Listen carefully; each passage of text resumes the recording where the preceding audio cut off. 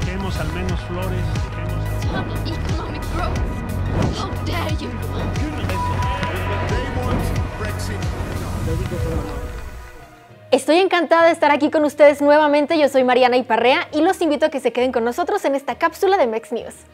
La Organización Mundial de la Salud pidió evitar creer que la pandemia de COVID-19 ha llegado a su fin ante el levantamiento de restricciones en algunos países. Dijo que este virus sigue evolucionando frente a la población mundial.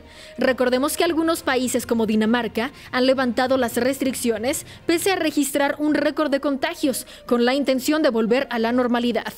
Desde que la variante Omicron fue detectada por primera vez hace más de dos meses, la OMS ha recibido el reporte de 90 millones de casos. Estados Unidos registra un aumento de puestos de trabajo obtenidos, lo cual es un logro para el país dada la situación de la pandemia. Las predicciones eran muy bajas respecto a este tema, pero para fortuna de muchos, Estados Unidos sumó 467 mil puestos de trabajo, muchos más de los esperados. El presidente Joe Biden celebró estas cifras, aunque la economía estadounidense agregó en total más de 19 millones de empleos desde el punto más bajo de la crisis de COVID-19 en abril del 2020, todavía le falta recuperar cerca de 3 millones de puestos de trabajo. Entre los principales sectores que contrataron el mes pasado, se incluyen bares y restaurantes, servicios profesionales y empresariales y el comercio minorista.